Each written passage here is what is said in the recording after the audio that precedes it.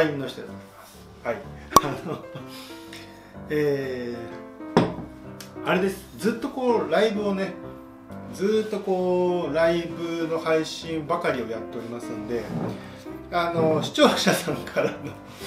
あのたまには普通の普通のやつも見たいと。あのさすがにねさすがに1時間は長えと。いうことなんであのたまにはあこういう普通の動画っていうのも上げないといけないんだなと思うんですけど、まあ、今日はあれです。あの3連休の最終日なんでね。あの少し余裕があるんであのっていうのとちょっとねこいつです。あのじゃじゃんと。あこれライブじゃないからねこうカットができるわけですよね。せーの。はい、えー、こちらがフエルザフエルサかな？フエルサの、えー、2015でございます。はい。白飛びしてるかな？へいとねこうカットがねカットができるのはいいですよね。素晴らしい。あのねライブはね酔っ払った私が垂れ流しですからね。そんな垂れ流しを見たい人がいるのかということでございますけれども。はいすいませんっていうね。まとりあえず飲んでいきましょう。あのー、ねこうねいつまでたってもねこうやりたいやりたいんですよ。あのこれなんだろう。ソムリエ焼けっていうんでしょうか。こうねボトルをこう前に出してこうね前の方からこう。絶対これ無理だと思うんだよな。ここねえこここうどんだけこうやるねんっていう。ここが絶対いかれへんやんっていうね。はいということでも諦めてねあの素人明けをしますけれども。でもしょうがないですよねこればっかりはね。だってソムリエさんのねお仕事の開け方っていうのはやっぱり相当こうなんでしょう。熟練された技でございますからね。素人の私みたいなものがこうねやってねうまくいくわけではないんですよっていうあの ちょっとした負け惜しみでございます。はい。よいしょ。あとねこラディオールもねこれ硬いんですよね。硬いんでこういった怖い。カチンとねカチンとこうじゃあ使い慣れてないのがねもうモノパレですよね。はいすいません。普段はもっと安いやつあのやっぱり楽なやつをね使っちゃうんでこれもねたくさん使わないといけないんですけどね。どうしてもこう見せる用というかねそういう感じで使っちゃうんですよね、うん、まだ抜線はね抜線は大丈夫。抜線は大丈夫というのとあとこれねあのこれアーカイブなんであのミスったらカットできるっていうねあのすごいすごい楽すごい楽な感じでできちゃいますね。このミスっても大丈夫っていうのがねライブの時とはね完全にミスったらそのまま配信ですからね。えいはい、えー、今日飲みたいのはフエルザでございます。ちょっとねあの説明を ライブに慣れてるせいか話が飛び飛びになっちゃうんですけどとりあえずこのフエルザっていうワインが何かっていうのをねあの説明しておきたいと思います。はい。飲みながらねとりあえず飲ましてもらおう。とりあえず飲ましてもらおう。はい。飲みながら説明をしよう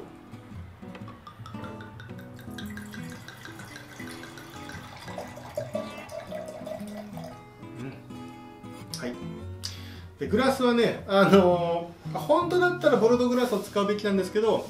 使い勝手のいいねユニバーサルもう超重宝してます。ザルトのグラスって一番使ってるのが多分ユニバーサルですね、うん、超楽。あでも硬いでしょうね最初はね。うん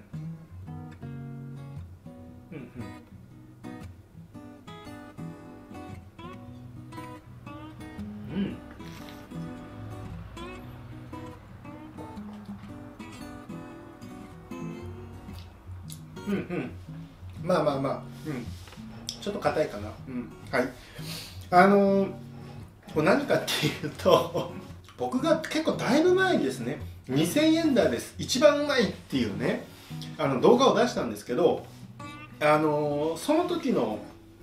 ワインでございます。それがクエリさんの2014だったんですね。それが僕が本当に今まで買ったワインの中で2000円台で買える史上最強にうまいワインとして紹介してで再生回数もそこそこね回ってるんですよ。でそれのあのそれはまあ2014のヴィンテージなんですね。でそれの2015が出たんで買って飲んでるっていういう感じでございます。はい、なんでまあ一回紹介してるんで、まあもう一回紹介するのかどうかのかなっていうのはちょっと思ったんですけど、まあでも、ライブで、うん、やるほどでもないけど、まあ軽くね、すげえ軽い編集、すっごい軽い編集してると思うんで、あのサクッと上げてると思うんで、あの、それだったらまあ出してもいいかなと思って、っていうのと、やっぱ2014の出来が僕は多分あまりにも良かったんで、2015は多分そんなんでもないんだろうなと思いながら、っていうのと、あとはもうね、あの、これ2000台じゃなくなっちゃったんですよ。あの、僕がこう、うまい、僕がじゃねえな。僕のせいではない、決して。あの、あのうまいうまいって言ってたら、本当にやっぱり、あの、ば、万年共通なんですよね。美味しさを感じるっていうのはね。なんで、あの2000円台で買えてたのがもう一気に買えなくなってもう3200円ぐらいだったかな。3000前半ぐらいだったかな、まあ、もうそれぐらいするようになっちゃってもう2000円台じゃなくなっちゃったんですよ。なんであの時は最高だこれって言ってたんですけど今はちょっともう3000円のね壁越えちゃったんで。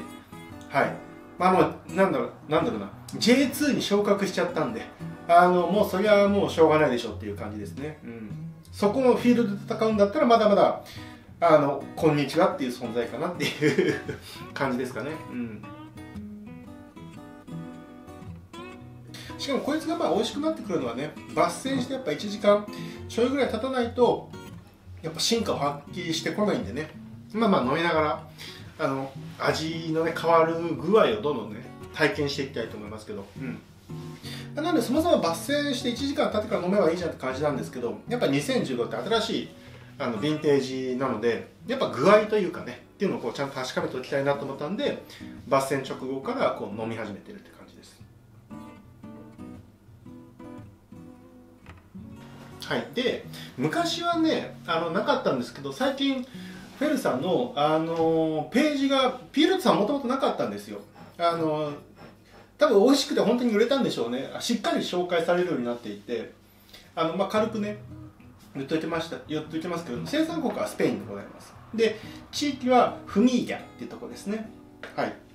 で品種はあのモナストレルっていう品種とあとはカベルネ・ソービニョンでございます。で僕結構このあのモナストレルっていう品種がわりかし好きで確かこれモナストレルを使ったあの別のねスペインのあのワインも確かね大丸東京で買った記憶があるぐらいあの結構好きな品種でございます。はい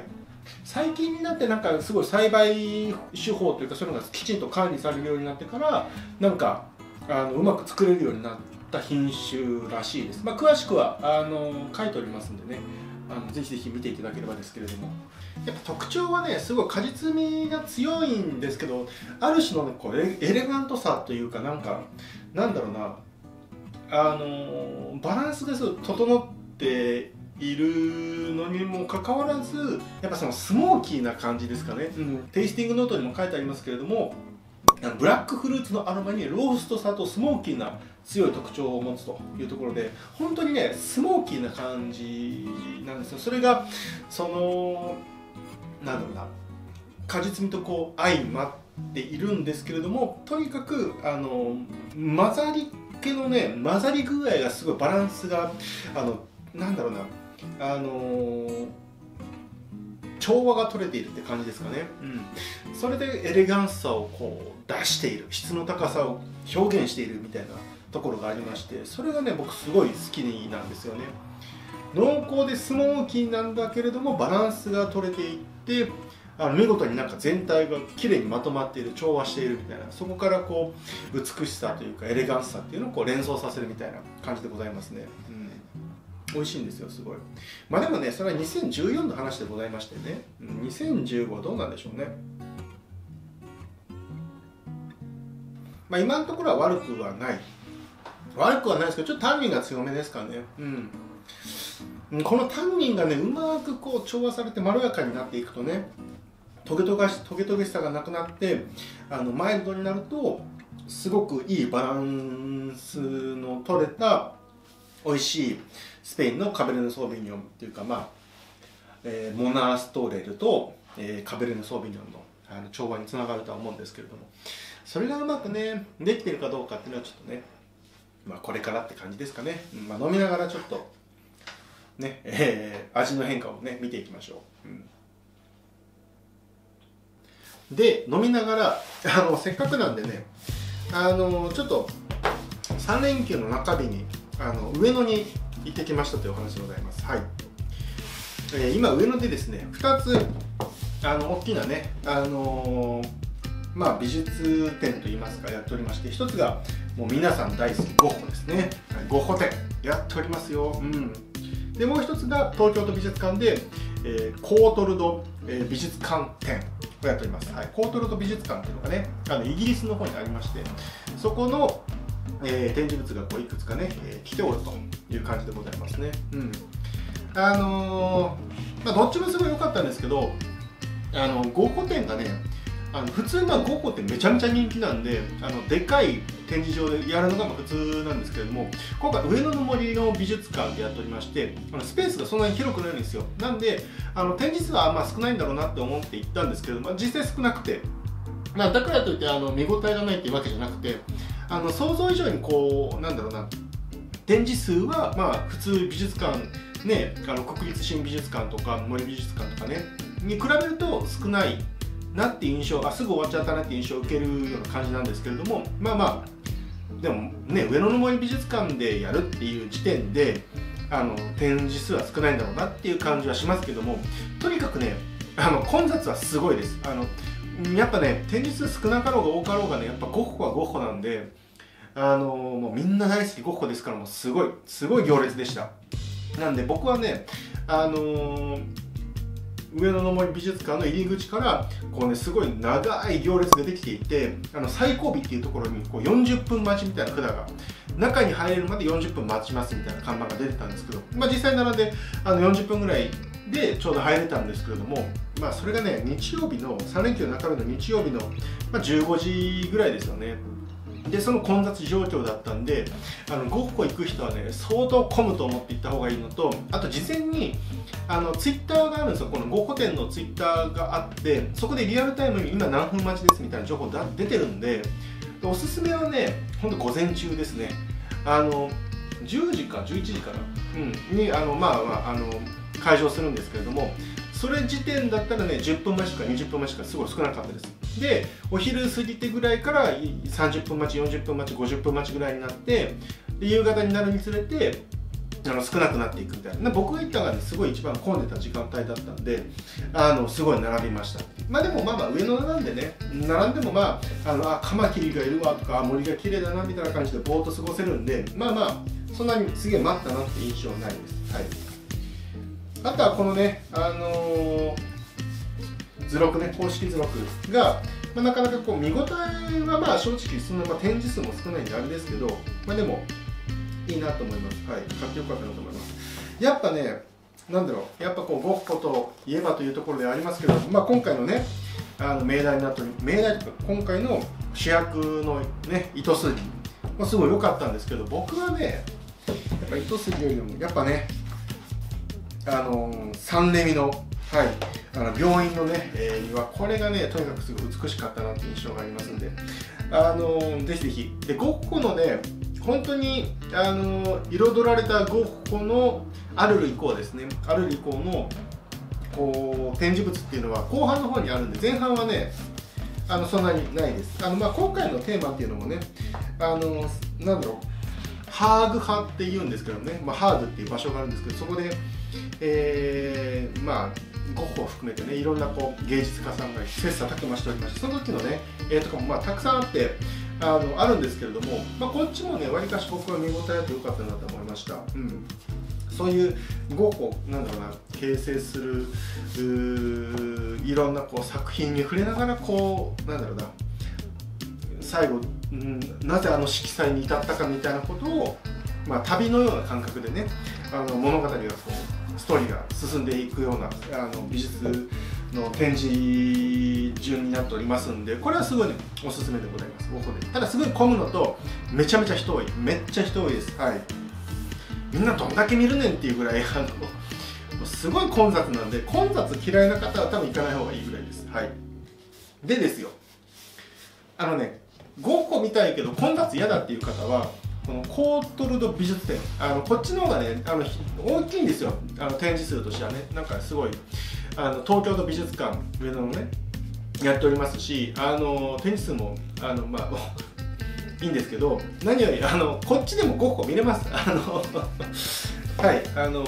印象派のねあの画家たちのセレクなんだろうコートールドさんがですねあの印象派の画家たちの作品をたくさんあの集めておりましてその中にあのゴッホもありますしルノワールもありますし印象派で非常に有名なねモネマネあのー、あとセザンヌとかねもうすごいもう代表される画家さんのねあのシスレーとかねすごいもうたくさんねあの素晴らしい作品があって僕はね本当印象派のね画家のなんだろう皆さんを見るんだったらこっちの方が相当見応えあるんですよ。はい。コートルド美術館ってにもかかわらずこのねゴッホさんゴッホさんのおかげでこっちすげえガラガラです。あのガラガラっていうのも僕が多分行ったのがこっち3時に行ってで、えー、と4時ぐらいに終わってで美術館終わるのがこっちあのうと東京都美術館が5時半で閉まるんですよ。で5時が最終入場で僕が行ったのが4時半ぐらいでしたから最後の最後だったんでねなんで空いてたのかなってもありますけどでも明らかにねこっちの方が多分人は少ない気がしました。あの並んでる印象というかあの周りのね人の声とか聞きましたけれどもこっちは空いてるみたいな話があったんでね。なんであの僕行くんだったらね全然コートルと美術館ってこっちの上野の方がねあの空いてますしあのゆっくり見れますしで今回はあのこのねマネのこちらの作品ですね。はいあのまあ、バーカウンターで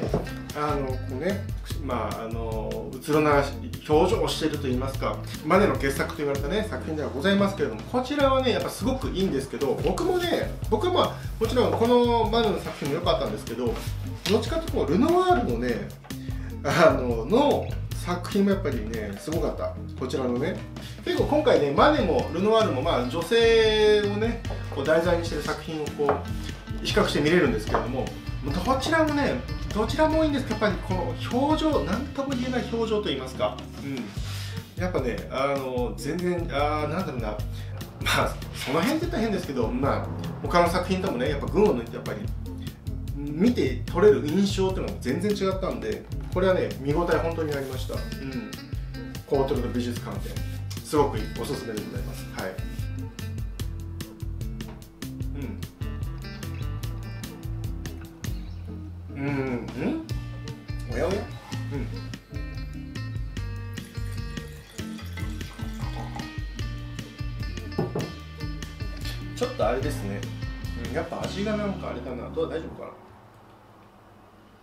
あでも香りはいいですねインパクトありますね。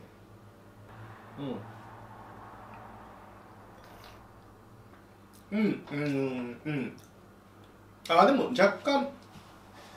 タンニンがマイルドになってきた感はあるんで少しねあの飲みながらはい。あののんびり過ごしていきたいと思います、はい、またしばらくねあの時間が経ったら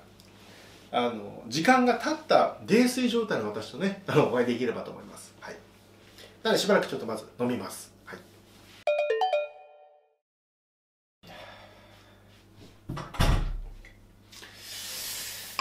い、いや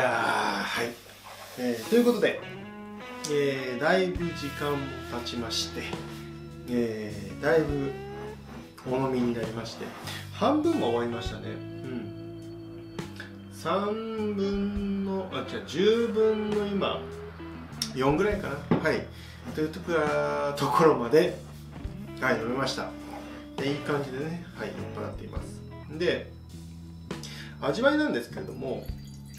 まあ、1時間以上経ちましてなんだろ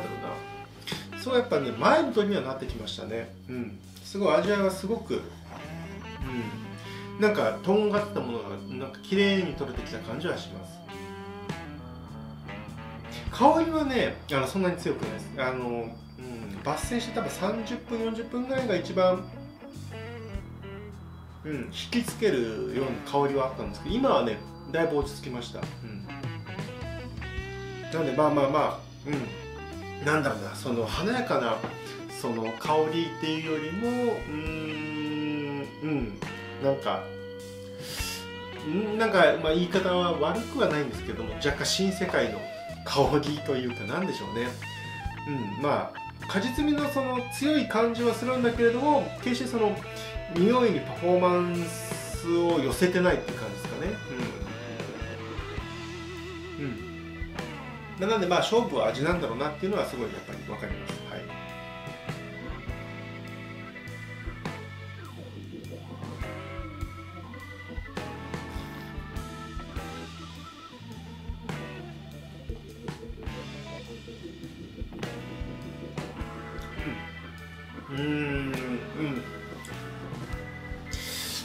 かすごいうんあれですね。スモーキーさっていうのはすごく強くなったのとやっぱタンニンもすうん割と強めになってる気がします。でうんやっぱね味わいはそんなにね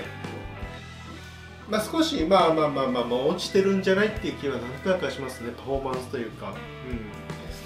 うん。なんだろうな。うんやっぱりこうその2014で感じたのはやっぱりこう果実味とタンニンのバランスといいますかそのスモーキーさのバランスといいますかね全体的にこう調和が取れているっていうのがすごく感じられたんですけれども今回のはねまあまあまあまあまあまあって感じな気がしますね。うん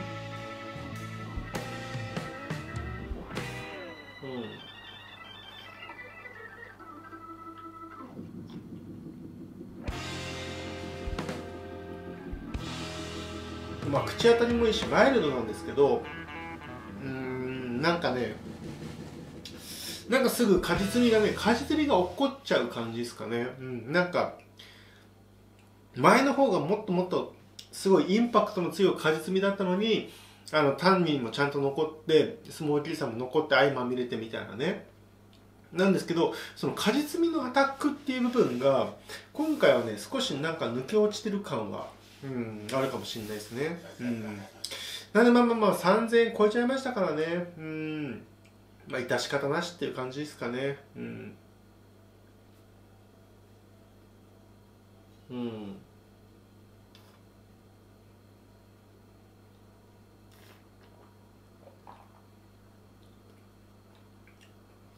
うん。なんでやっぱりああ2014のなんか出来の良さっていうのはね、うん、すごい感じましたという回でございました。はい。えー、という感じで、まああの、いろいろね、あの、雑談交えてでございましたけれども、はい、ワインの人でございました。たまにはね、あの違うアングルでお届けできればなというふうに思っております。はい。ということで、えー、また来週ライブができればと思います。おやすみなさいませ。ワインの人でございました。